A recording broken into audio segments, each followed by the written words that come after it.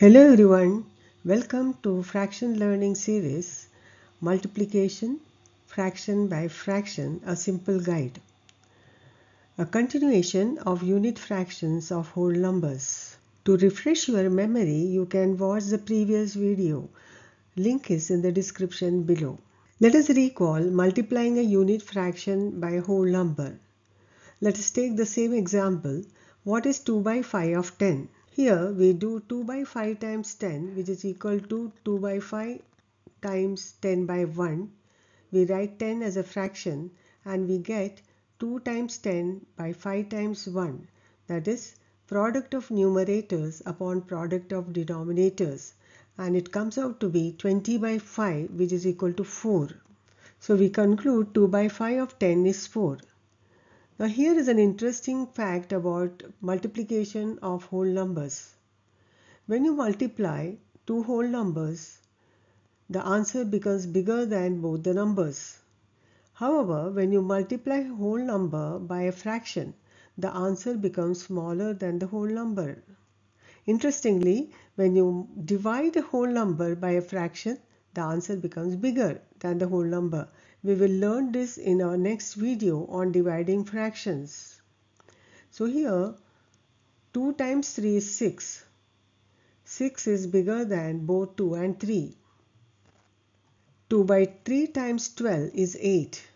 8 is less than 12. What does multiplying fractions mean? Multiplying two fractions means finding a part of a part. For example, if we take two unit fractions 1 by 2 and 1 by 4, 1 by 2 times 1 by 4 means finding 1 by 2 of 1 by 4. Let us try to understand by visual representation with rectangles. Imagine a rectangle divided into two equal parts with one half shaded. Next imagine another rectangle divided into four equal parts with one fourth shaded. To find half of 1 by 4, we further divide the 1 by 4 section into two equal parts, making a total of 8 parts in the entire rectangle. The overlapping section which represents 1 by 2 of 1 by 4 is 1 eighth. Now take a real life example, an example of pizza. Consider a pizza divided into four equal parts with one-fourth marked.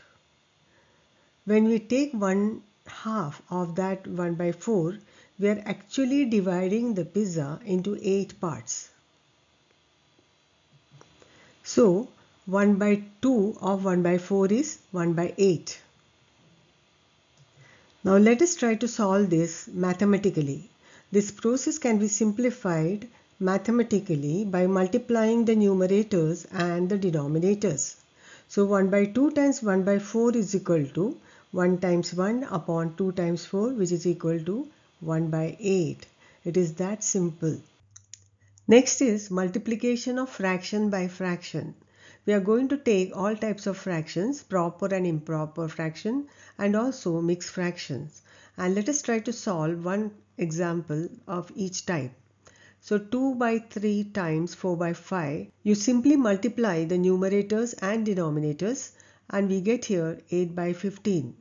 The next question is 2 by 3 times 9 by 14. So we get here 2 times 9 upon 3 times 14 which is 18 by 42. So whenever you get a result like this, you see whether any, there are any common factors. So 18 and 42 both the numbers you can divide by 6 and the answer is 3 by 7. Next question 1 1 by 4 times 4 by 5 one mixed fraction and one proper fraction. Now you have to convert 1 1 by 4 into an improper fraction. You can see the video where I have explained how to convert mixed fractions into improper fractions. So here we get 5 by 4 times 4 by 5. So it is actually what you get is 20 by 20 which is equal to 1. Next question mixed fraction times mixed fraction. Now again here you convert 3 2 by 5 as a improper fraction where we get 17 by 5 and 1 3 by 7 becomes 7 times 1 plus 3 that is 10. Denominator you keep as it is. So we get here 170 by 35 actually but to make it simple the common factor here is 5 so 10 divided by 5 is 2 and then you multiply which gives us 34 by 7 you have to simplify 34 by 7 and you get 4 6 by 7 I hope you have understood all types. Now this mixed fraction product you can do uh, in one more method simple method which I'll show you along with division. You answer one simple question which is there on the thumbnail 1 by 4 times 5 by 8 I shall pause it is 5 by 32.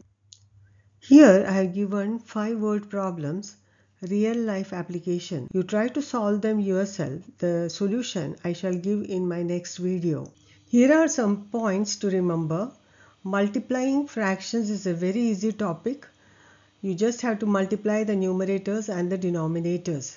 So product of fractions is equal to product of numerators upon product of denominators.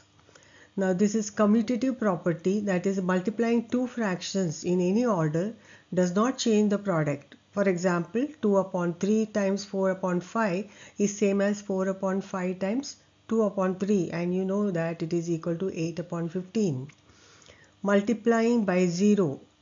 Any fraction multiplied by 0 gives you 0. For example 2 upon 3 times 0 is equal to 0. Multiplying by 1. Any fraction multiplied by 1 remains unchanged. For example, 2 upon 3 times 1 is same as 2 upon 3. Thanks for watching the video till the end. If you have liked the video, please subscribe to my channel so that you'll come to know when I post my next video with solutions to the word problems. Bye.